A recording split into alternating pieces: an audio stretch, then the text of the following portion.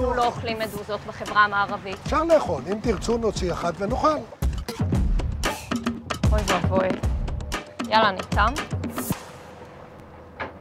כמו...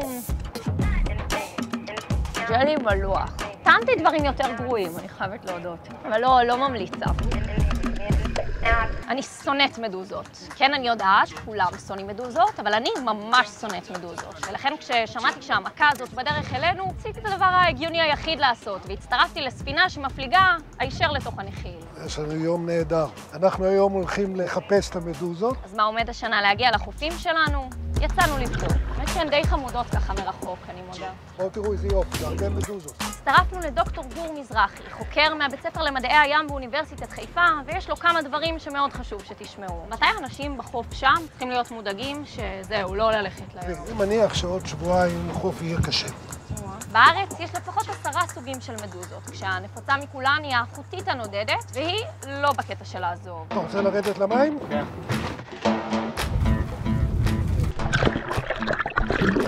קודם הייתה לנו מדוזה שקראו לה מדוזה מצויה, שהיא כבר לא כל כך מצויה פה. ואנחנו רואים עלייה רצינית מאוד, חוטית צורבת. בארץ, אם הייתי הולכת לים לפני 80 שנה, כנראה לא הייתי נעקצת ממדוזה. הרבה פחות. לפני שאתם אה, מלכלכים על החוטית, בחופי אוסטרליה תוכלו למצוא למשל את הקטלנית האוסטרלית, שיכולה להרוג בן אדם בוגר תוך שתי דקות, אז תגידו תודה. החוטית שלנו לא מסוכנת, אבל הצריבה שלה חזקה וכואבת ביחס למינים אחרים. אה, אתה לא מרגיש את זה? למען המדע. שהן ככה קטנות הן ארסיות באותה מידה? כולן צורבות, אבל לא נורא. אנה, את רוצה להחזיק אותה? לא נראה לי, אני רוצה. כמו שצריך, כמו שצריך, לך לא יקרה היא לא כלום. יכולה לצרוב אותי ככה? החוטים האלה, אם הם נוגעים בך אז הם צורבים. אבל אם את מלטפת אותה כאן, היא לגמרי מתוקה והכל טוב. וואלה, אני שוקלת לאמץ, מה זה חמודה. מדוזה יכולה לחיות עד שלוש שנים, ובקטע קריפי במיוחד, החוטים שלה בתנאי מעבדה יכולים להמשיך להיות ארסיים עד כמעט עשור. זה נחשב הרבה מדוזות? לא, זה הרבה מאוד. אנחנו נלך לספור מדוזות, נראה עד אותה. שתיים, שלוש, ארבע, חמש, שש, שבע, שמונה, תשע, עשר, אחת עשרה, שתים עשרה, שלוש עשרה, ארבע עשרה, חמש עשרה, שש עשרה. טוב, זה לא נגמר. זה כמות של מיליונים. אז מה הקטע של הנחיל? המדוזות קצת שוחות והרבה נסחפות עם הזרם. במקרה שלנו, מדרום לצפון. כשהתנאים טובים, כמו אצלנו, המדוזות מתרבות במהירות מטורפת, וככה נוצרים הנחילים הגדולים שנסחפים אלינו עד החוף. לא של המדוזה. וואו, זה- האמת זה פשוט. מטורף. ואי אפשר לתאר את זה. בקטע מעצבן, התנאים הטובים האלה קורים ממש כאן, ולכן הנחילים נוצרים בחלק הזה של הים התיכון. שנה שעברה היה קיץ מושלם בחופים, כמעט בלי מדוזות. מעריכים שאולי נדבקו באיזשהו וירוס. מי אמר שמגפות זה רק דבר רע?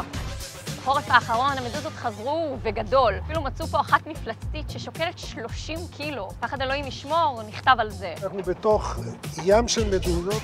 ועכשיו לחלק הכי חשוב. מה לעשות אם חטפתם צריבה? You're gonna have to pee on it. לא, לא, את זה לא לעשות, ולא לשטוף במים מתוקים, ולא לשים חומץ, ובטח שלא לשפשף את האזור בחול, זה סתם יכול לגרום לנזק. הכי כדאי פשוט לשטוף את האזור עם מי ים, אחר כך אפשר גם לשים איזושהי משחה נגד אה, כוויות, כמו אלוברה או משהו כזה.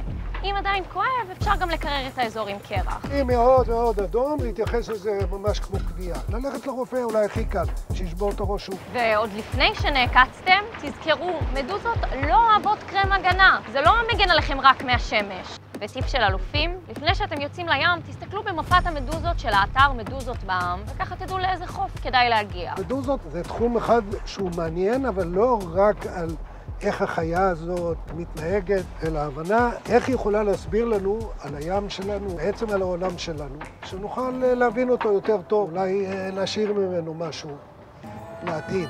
זה החלק שבו אני אמורה לדבר על היתרונות של המדוזות, כי הן מרתקות את עולם המדע, והן חיות יפהפיות, ויש להן גם סגולות רפואיות, אבל האמת שאני עדיין שונאת אותן. סורי. אנא, קחי את ההגה, שיראו שאת עושה משהו, אוי, לא רק שואלת שאלות. ככה? כן, כן, אוי אוי. עוד, עוד? כן, כן. ועכשיו ניישר את ההגה, עד שיחל הים צועק. אימא'לה, אימא'לה. ככה, יאללה, אימא'לה. את עושה סיבובים, זה יפה.